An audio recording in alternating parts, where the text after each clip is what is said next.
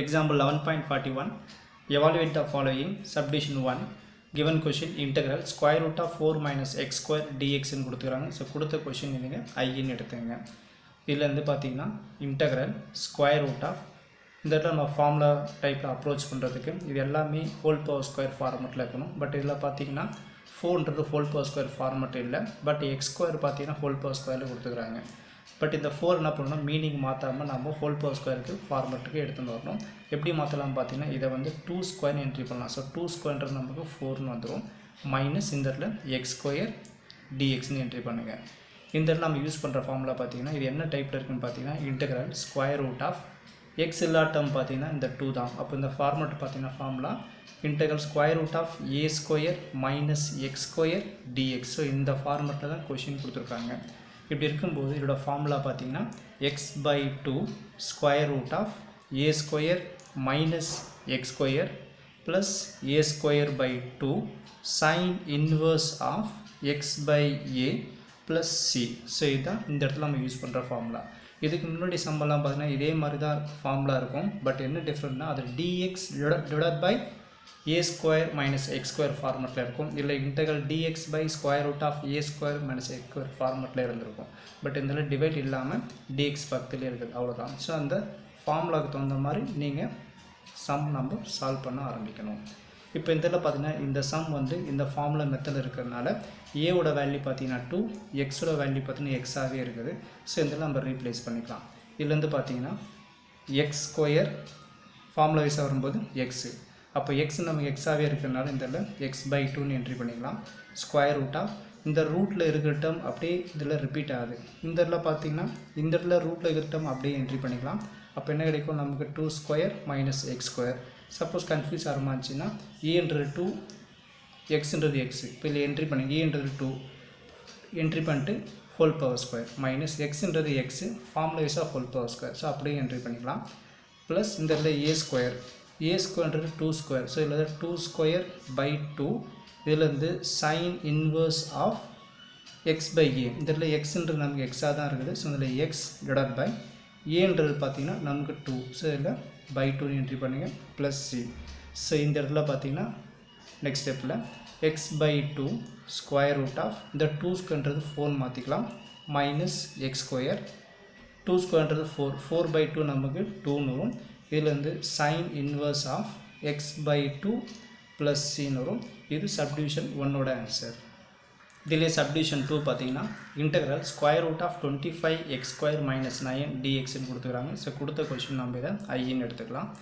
இதுலேருந்து integral square root of இதில் பார்த்தீங்கன்னா டுவெண்ட்டி ஃபைவ் எக்ஸ் ஸ்கொயர் இது எல்லாம் சேர்ந்து தான் x the whole power square ஃபார்மெட்டுக்கு நம்ம எடுத்துன்னு வரணும். அப்போ அப்படி மாற்றும்போது சம்மோட மீனிங்கும் மாறக்கூடாது.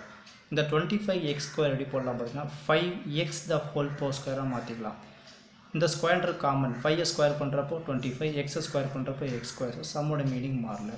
அதே மாதிரி நைன் எப்படி போடலாம்? த்ரீ ஸ்கொயர்னு மாற்றிக்கலாம் ஏன் இந்த மாதிரி செய்யணும் நம்ம ஃபார்முலா அப்ளை பண்ணுறக்கோசரம் இந்த மாதிரி மாற்றினுக்கிறோம் இது என்ன ஃபார்மெட்டில் ஃபார்மில் இருக்குன்னு பார்த்தீங்கன்னா இன்டகரல் ஸ்கொயர் ரூட் ஆஃப் இதில் எந்த டேர்ம் ஏ டேர்ம் எந்த டேர்ம் எக்ஸ்ன்னு பார்த்தீங்கன்னா எக்ஸ் இல்லா டேர்ம் தான் ஏ ஸோ இதில் தான் எக்ஸ் இல்லை. அப்போ என்ன ஃபார்மெட் பார்த்தீங்கன்னா இந்த இடத்துல எக்ஸ் ஸ்கொயர் மைனஸ் ஏ ஸ்கொயரில் இருக்குது. அதாவது integral square root of x square minus a square dx ஃபார்மெட்டில் question கொடுத்துருக்காங்க.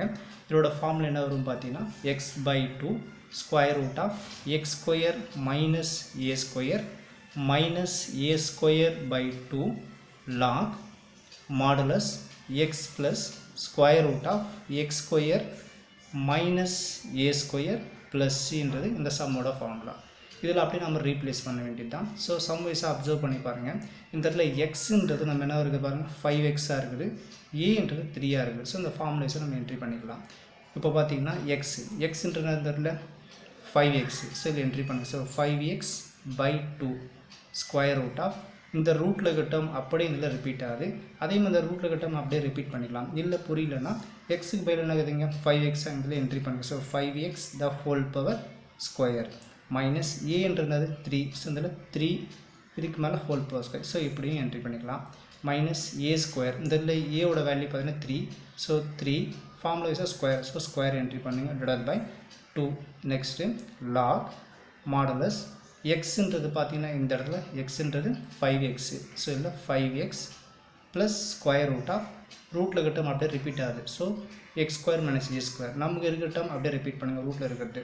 இல்லைனா five x the whole power square minus three square இல்லைனா ஏற்கனவே நீங்கள் போட்டோம் பார்த்தீங்கன்னா எக்ஸுன்ற இடத்துல five x whole power square அதே மாதிரி ஏ இடத்துல த்ரீ ஃபார்முலைஸாக ஹோல் பவர் ஸ்கொயர் ஸோ அப்படியும் என்ட்ரி பண்ணலாம். உங்களோட சாய்ஸு ஸோ இந்த இடத்துல ப்ளஸ் சி இப்போ இதோட முடிஞ்சு போச்சு நினச்சிக்காதீங்க ஸோ இங்கே தான் ஒரு இம்பார்ட்டன்ட் லைன் இருக்குது.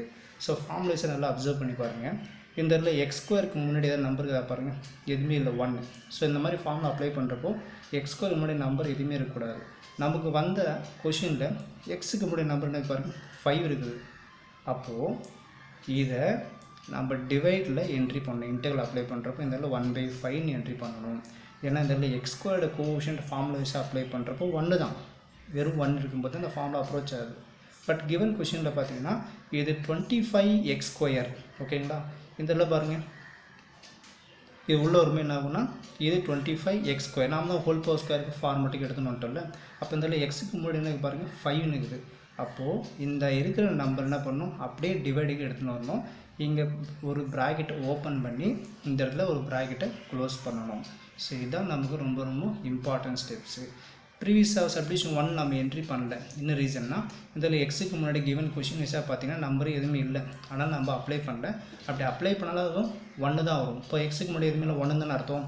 அப்போ அப்ளை பண்ணால் ஒன் பை ஒன் என்ன கிடைக்கும்? ஒன் ஒன்று எதுவும் என்ட்ரி பண்ணால் அதே தான் வரும். ஆனால் நம்ம என்ட்ரி பண்ணலை. ஒன்றை தவிர வேறு ஏதாவது நம்பர் இருந்ததுன்னா எக்ஸுக்கு பின்னாடி ஒன்றை தவிர நம்பர் இருந்ததுன்னா அதை இன்டகலில் வரும்போது என்ன பண்ணணும்? டிவைடில் எடுத்துன்னு வரணும். ஸோ இந்த லைனை நீங்கள் மறந்துடக்கூடாது. நெக்ஸ்ட் ஸ்டெப்பில் பார்த்தீங்கன்னா ஈக்குவல் டு இது ஒன் பை ஃபைவ் அடுத்த லைனில் பார்த்தீங்கன்னா இந்த இடத்துல இங்கே ஒரு டிடர் பை டூ இருக்குதா? இங்கே ஒரு டிடர் பை டூ இருக்குதா? ஸோ அப்போ காமன் என்ன பண்ணலாம்? ஒரு டூவை காண ரிமூவ் பண்ணலாம். ஸோ இந்த இடத்துல ஒரு டூவை காண ரிமூவ் பண்ணிடுறேன். ரிமைனிங் ஸ்டெப் என்ன இருக்குன்னு பார்த்தீங்கன்னா இந்த இடத்துல five x square root of இந்த five x the whole positive போடலாம். டுவெண்ட்டி ஃபைவ் எக்ஸ் ஸ்கொயர்னு போடலாம். த்ரீயை ஸ்கொயர் பண்ணுறப்போ நைன் வரும். மைனஸ் த்ரீயை ஸ்கொயர் பண்ணுறப்போ நயன் பை டூன்றது எங்கே ரிமூவ் பண்ணிட்டேன். இதுலேயும் இதுலேயும் சேர்த்து ஒரு டூ ரிமூவ் பண்ணிட்டேன். ரிமைனிங் இருக்கிறது log modulus five x plus square root of twenty இது என்ன ஆகிடும் டுவெண்ட்டி ஃபைவ் எக்ஸ் ஸ்கொயர்னு வரும்.